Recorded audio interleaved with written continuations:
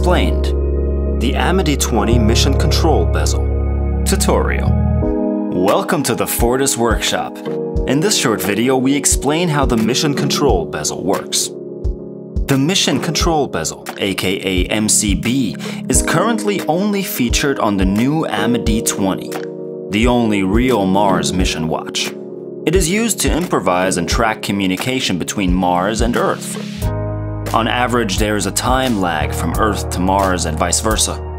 In other words, if you have a question for mission control on Earth while on Mars, it takes about 10 minutes for mission control to receive your message. To keep an eye on when you can expect an answer, you can adjust the bezel accordingly.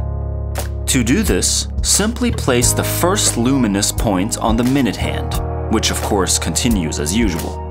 As soon as it has reached the second luminous point on the bezel, you will know that Mission Control should now have received your message.